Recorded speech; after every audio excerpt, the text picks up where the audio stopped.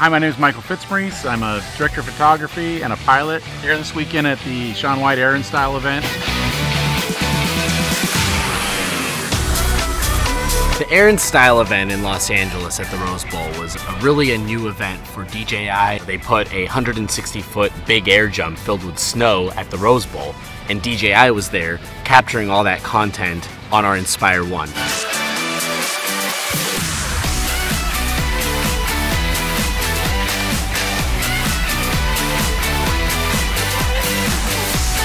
Taking a brand new out of the box Inspire 1 and live streaming, which is being streamed straight onto ESPN 3 live.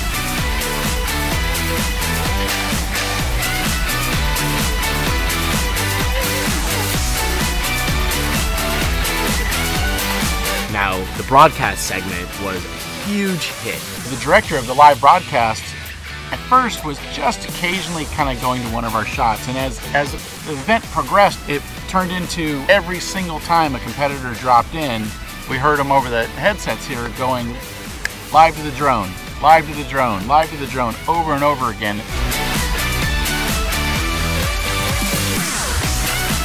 fact that DJI was able to successfully put this off paints a huge footprint for the future of where this category is going.